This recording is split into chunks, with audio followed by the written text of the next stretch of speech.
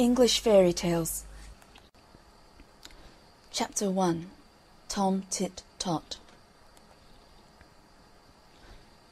Once upon a time there was a woman, and she baked five pies.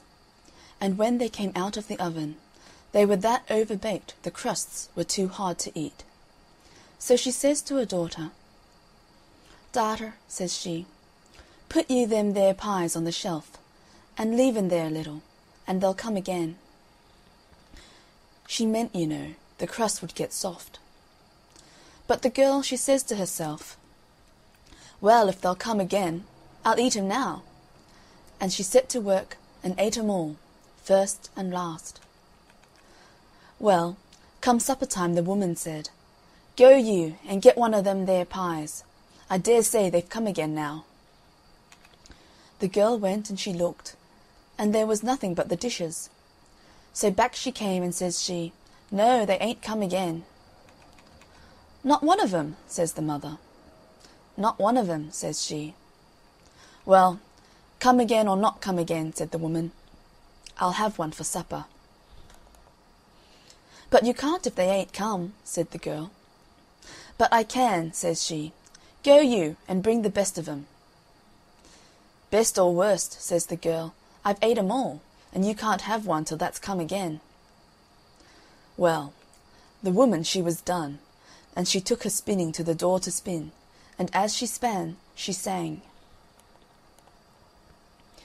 My ha ate five, five pies to day, My ha ate five, five pies to day. The king was coming down the street, and he heard her sing, but what she sang he couldn't hear, so he stopped and said "What was that you were singing, my good woman?"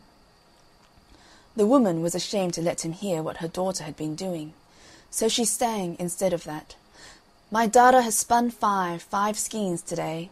My darter has spun five, five skeins to day." "Stars o' mine!" said the king, "I never heard tell of any one that could do that." Then he said, "Look you here, I want a wife, and I'll marry your daughter. But look you here," says he, "eleven months out of the year she shall have all she likes to eat, and all the gowns she likes to get, and all the company she likes to keep; but the last month of the year she'll have to spin five skeins every day, and if she don't I shall kill her." "All right," says the woman, for she thought what a grand marriage that was, and as for the five skeins, when the time came there'd be plenty of ways of getting out of it, and likely as he'd have forgotten all about it. Well, so they were married, and for eleven months the girl had all she liked to eat, and all the gowns she liked to get, and all the company she liked to keep. But when the time was getting over, she began to think about the skeins, and to wonder if he had 'em in mind. But not one word did he say about 'em, and she thought he'd wholly forgotten 'em. However, the last day of the last month, he takes her to a room she'd never set eyes on before. There was nothing in it but a spinning wheel and a stool. And says he, "Now, my dear, here you'll be shut in to morrow with some victuals and some flax, and if you haven't spun five skeins by the night, your head'll go off." And away he went about his business. Well, she was that frightened! She'd always been such a gatless girl that she didn't so much as know how to spin and what was she to do to morrow with no one to come nigh her to help her? She sat down on a stool in the kitchen, and lor, how she did cry! However, all of a sudden she heard a sort of a knocking low down on the door. She upped and oped it, and what should she see but a small little black thing with a long tail. That looked up at her right curious, and that said, "What are you a crying for?" "What's that to you?" says she. "Never you mind," that said, "but tell me what you're a crying for." "That won't do me no good if I do," says she. "You don't know that," that said, and twirled that's tail round. "Well," says she, "that won't do no harm if that don't do no good," and she upped and told about the pies and the skeins and everything. "This is what I'll do," says the little black thing. I'll come to your window every morning, and take the flax, and bring it spun at night. "What's your pay?" says she. That looked out of the corner of That's eyes, and That said, "I'll give you three guesses every night to guess my name, and if you haven't guessed it before the month's up, you shall be mine." Well, she thought she'd be sure to guess That's name before the month was up. "All right," says she, "I agree." "All right," That says, and lor, how that twirled That's tail. Well, the next day her husband took her into the room and there was the flax and the day's food. "Now there's the flax," says he, "and if that ain't spun up this night, off goes your head." And then he went out and locked the door. He'd hardly gone when there was a knocking against the window. She upped and she oped it, and there sure enough was the little old thing sitting on the ledge. "Where's the flax?" says he. "Here it be," says she, and she gave it to him.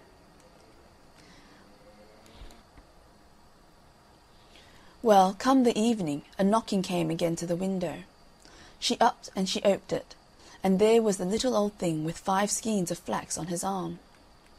"Here it be," says he, and he gave it to her. "Now what's my name?" says he. "What, is that Bill?" says she.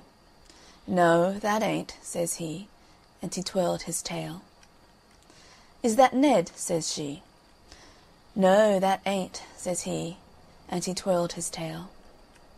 "Well, is that Mark?" says she. "No, that ain't," says he, and he twirled his tail harder, and away he flew.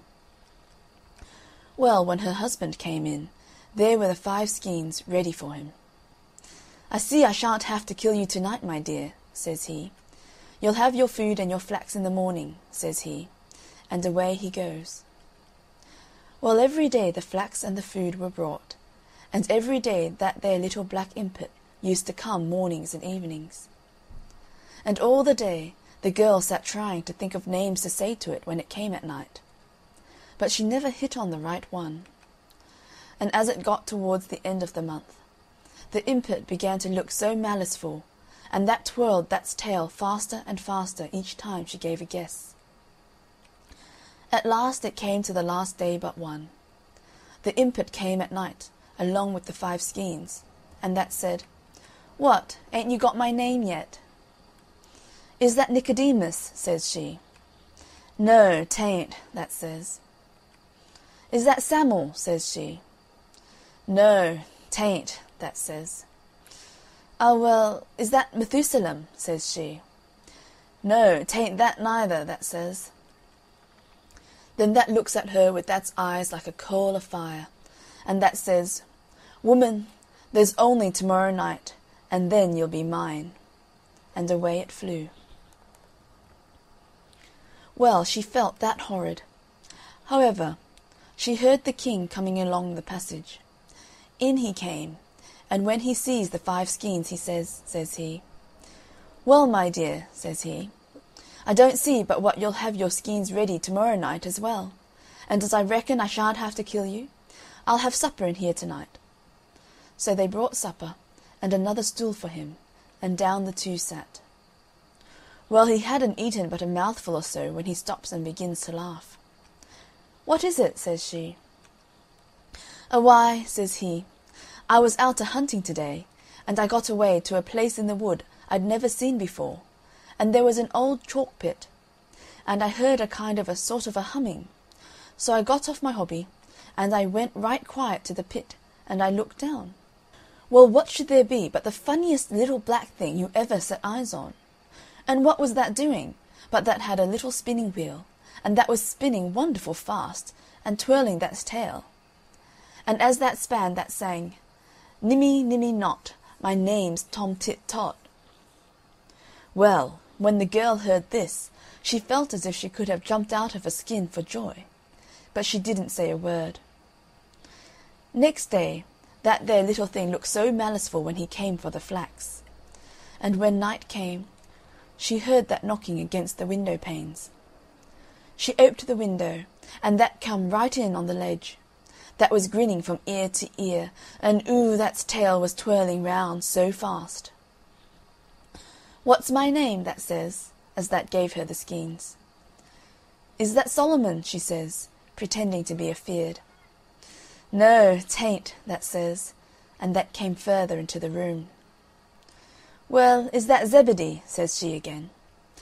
"No, tain't," says the impet, and then that laughed and twirled that's tail till you couldn't hardly see it. "Take time, woman," that says, "next guess and you're mine." And that stretched out that's black hands at her. Well, she backed a step or two, and she looked at it, and then she laughed out and says she, pointing her finger at it, "Nimmy nimmy not, your name's Tom Tit Tot." Well, when that heard her, that gave an awful shriek, and away that flew into the dark, and she never saw it any more. End chapter one. Tom Tit Tot.